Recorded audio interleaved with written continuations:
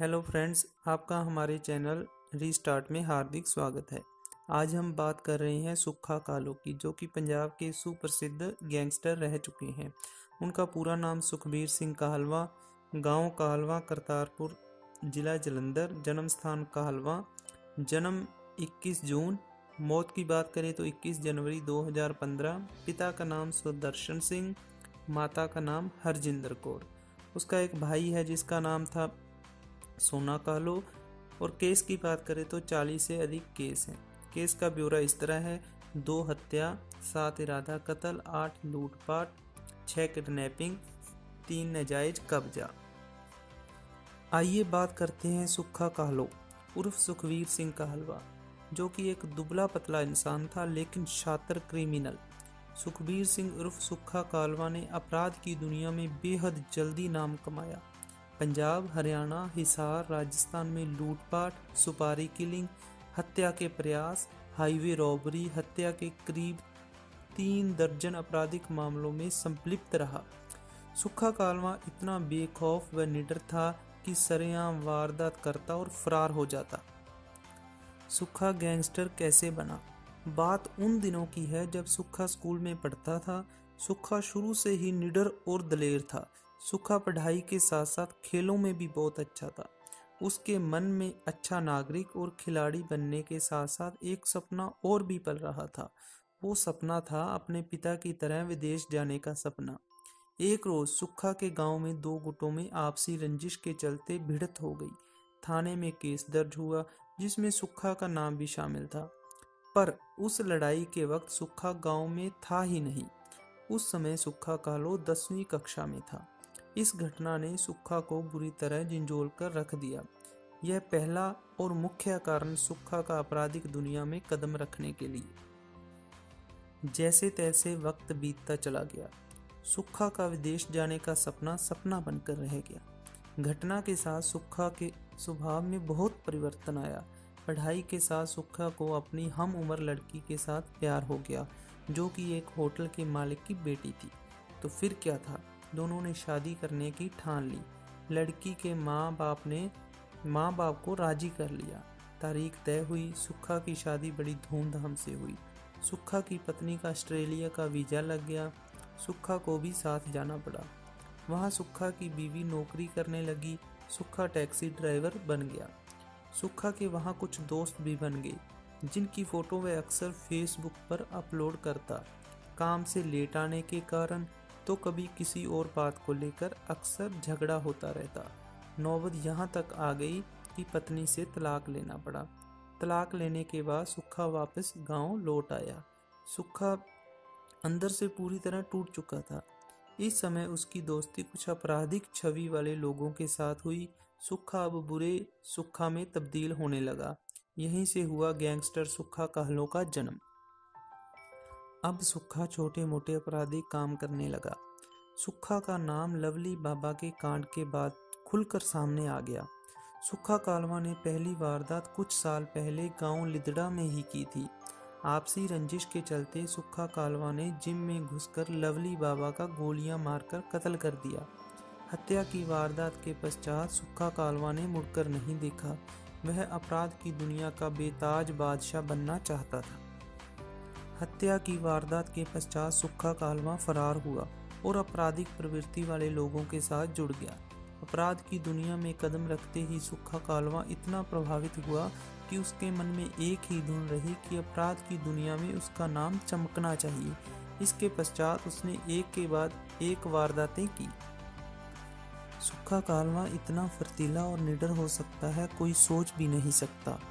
पहली वारदात के पश्चात उसने विभिन्न गैंगस्टर के साथ मिलकर एक नहीं, दो नहीं, बल्कि दर्जनों वारदातों को अंजाम दिया।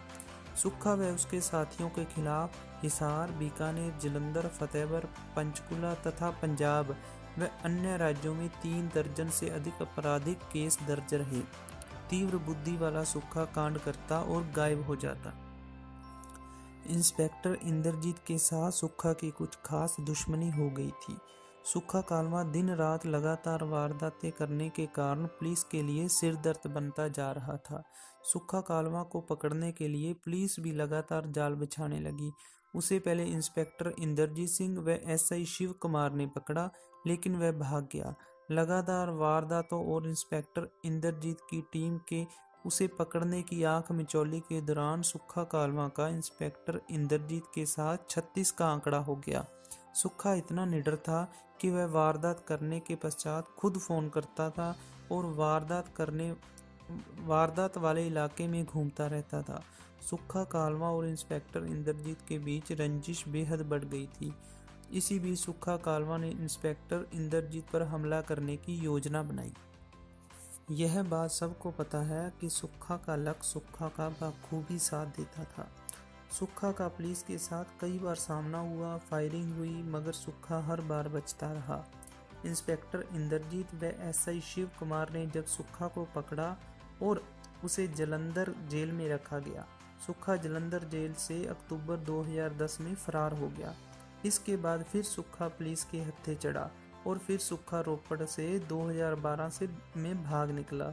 एक बार फिर सुखा की राजस्थान पुलिस के साथ भिड़त हुई गोलियाँ चली सुखा का साथी मारा गया, लेकिन सुखा फिर बच गया। पहले भी खुलासा हो चुका है, इंस्पेक्टर इंद्रजीत पर हमला करने के लिए वह यूपी से अवैध ए के सैतालीस तक खरीदने के लिए चला गया। सुखा और उक्त पुलिस अधिकारियों के बीच फ़ोन पर ज़रूरी, ज़रूर तीखी वार्तालाप होती रही और आखिर सुखा को पकड़ा भी इंस्पेक्टर इंद्रजीत व एसआई शिव कुमार ने। इस प्रकार सुखा की ओर पुलिस की ज़्यादा जमती नहीं थी। आतंक का पर्याय सुखा कालवा ने आपराधिक लिंक सिर्फ़ पंजाब में ही नहीं, बल्कि हिसार, राजस्थान, यूपी व अन्य राज्यों में भी थी। वह जहाँ से गुजरता, लूट या डकैती की वारदात करता, जुलाई 2012 में हिसार में सुखा व उसके साथियों ने चार किलो सोने व दो लाख रुपए की लूट को वार, को अंजाम दिया। इसके पश्चात सितंबर माह में जब वारदात ट्रेस हुई तो अपराधी यामिन ने खुलासा किया कि उसने सुखा को मारकर नहर में फेंक दिया। अब यह किसी को ना पता था सुखा कालवा कहाँ है, वह मर गया या बच गया। वक्त गुजरता चला गया, पुलिस को सुखा कालवा की भनक लगी। आखिर सुखा बंगाल में मिला। सुखा कालवा बेहद जख्मी था, उसका इलाज चल रहा था। लोगों की नज़र से छिपकर वह छः बाई छः कमरे में रह रहा था। उसकी दाढ़ी और बाल बहुत बड़े, बढ़ चुके थे। पहचान करनी भी मुश्किल थी। उसके बाद उसे फगवाड़ा लाया गया, बाद में नाबा जेल में रखा गया। सुखा कहलवा को जेल में मिलने वालों की लाइन लगी रहती थी। हर दिन कोई ना कोई सुखा को मिलने आता, जिसमें उसके ज़्यादा फ़ैन और दोस्त शामिल थे। फ़ैन और दोस्त सुखा कहलवा के साथ फ़ोटो लेते और फेसबुक सोशल साइट पर अपलोड करते। एक आध बार सुखा के माँ बाप भी मिलने आए अभी सुखा जेल में ही था कि अचानक खबर मिली कि सुखा के बड़े भाई सोना कालो की कपूरथला जेल में मौत हो गई है। जाँच में पाया गया कि सोना कालो काफ़ी समय से बीमार था। उसकी देखभाल अच्छी तरह से नहीं हुई थी। फलस्वरूप उसकी मौत हो गई। सुखा कालवा को भारी पुलिस कस्टडी में उसके गाँव लाया गया ताकि भीड़ में सुखा कालवा फरार ना हो जाए। अब बात करते हैं सुखा कालवा की मौत की। सुखा की सज़ा पूरी होने में कुछ समय बाकी था। उसके दुश्मनों को यह बात रासना आ रही थी। अंत 21 जनवरी 2015 को पेशी से लौटते वक्त सुखा की हत्या कर दी गई। पूरा वाक्य इस तरह था। गैंगस्टर सुखा कालो को पंजाब पुलिस की टीम आज नाबा जेल से जलंधर अंडर ट्रायल कैदी के साथ अदालत में पेशी के लिए लाई थी। जलंधर में अदालत अदालत में पेशी भुगतने के पश्चात गैंगस्टर सुखा कालो को नाबा पुरानी सिक्योरिटी जेल की पुलिस टीम, जिसमें दो थानेदार, तीन हवलदार और दो सिपाही शामिल थे वापस नाबा जेल लेकर जा रहे थे। तो बीच रास्ते में फगवाड़ा के गाँव जमालपुर के करीब पुलिस जीप, जिसमें गैंगस्टर सुखा कालो व अन्य अंडर ट्रायल कैदी बैठा हुआ था, को अज्ञात गैंगस्टरों की फिल्मी स्टाइल में पहुँची दो फार्चूनर एसयूवी वाहनों ने घेर लिया और उन पर अंधाधुंध फायरिंग कर दी।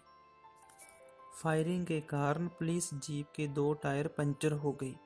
इसके पश्चात करीब पंद्रह गैंगस्टरों की टोली, जो पिस्टलों, डबल बैरल गन आदि घातक हथियारों से लैस थी, ने पुलिस जीप के चालक गुर साहेब सिंह व उसके साथ बैठे पुलिस थानेदार व पुलिस हवलदारों को पिस्टल की नोक पर लिया और पुलिस अधिकारियों के हाथों में पकड़ी हुई कार्बाइन गन छीन ली।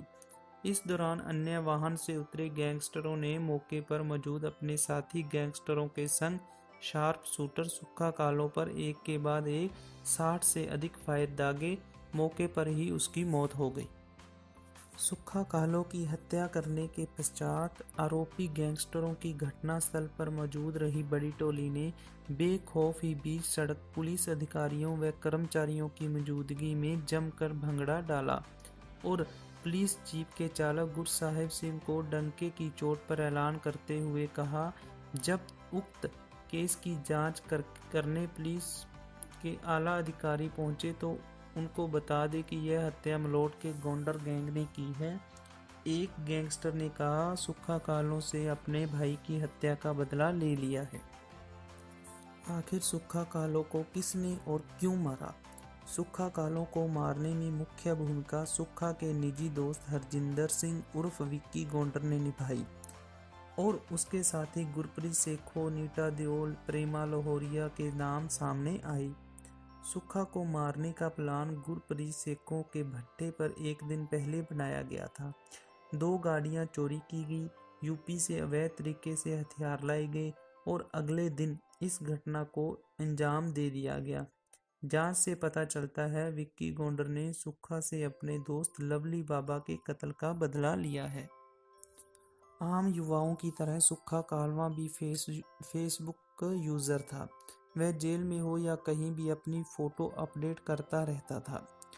इसके साथ ही वह चाहता अपराधियों में उनका नाम का खौफ हो, लेकिन उसकी मनोवृत्ति इस बात से पता चलती है, वह खुद चाहता था कि उसकी फ़ोटो ज़्यादा से ज़्यादा अखबारों में आए, उसकी पब्लिसिटी हो, लोग उससे डरे, वह उसके नाम का खौफ हो। क्या सुक्खा को पता था उसकी हत्या होनी तय है?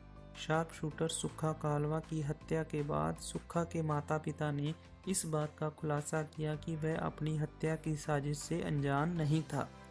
अपनी हर पेशी के बाद वह अपने अमेरिका में अपने माँ बाप से को जानकारी देता रहता था। सुखा के माता पिता ने बताया, सुखा को पता था कि गोंडर और प्रेमा लोहोरिया उसकी हत्या की योजना बना रहे हैं।